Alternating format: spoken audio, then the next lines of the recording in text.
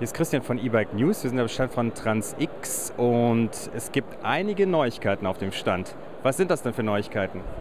Ja, hallo. Ähm, wir sind hier auf dem TransX-Stand und ich möchte hier jetzt einfach mal ganz, ganz gerne schon mal das, zuerst das Gryphon E-Bike, das neue äh, Mountainbike-Konzept von TransX BSD vorstellen.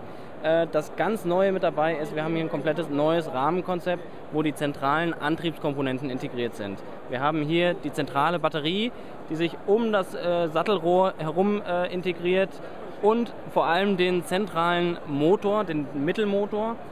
Ganz wichtig hierbei ist, ähm, mit sehr stark bis zu 70 Newtonmeter Spitzendrehmoment ähm, und er kann bis zu drei Kettenblätter vorne aufnehmen, was ähm, bei einer Kettenschaltung bis zu 30 Gänge ermöglicht. Das ist gerade für sportlich, sportlich orientierte Mountainbikes sehr wichtig.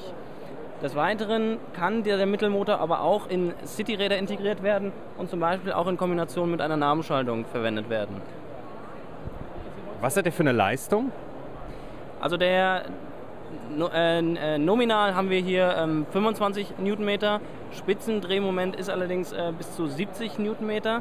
Das ist sehr kraftvoll.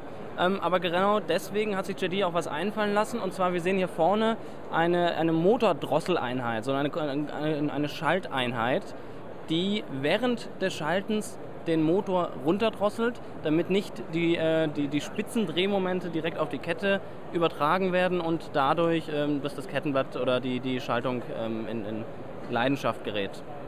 Hat sich was an der Konsole dann geändert? An der Konsole hat sich an sich nichts geändert. Wir haben hier, wie gesagt, ähm, die, wir haben jetzt hier das neue DP09 Display. Das ist eigentlich sehr, sehr formschön mit dabei. Ähm, kann auch separat durch ein separates Bedienelement bedient werden. Hier haben aber die OEMs auch nach wie vor die Flexibilität, unterschiedliche Displays zu verwenden. Gut, vielen Dank. Sehr gerne.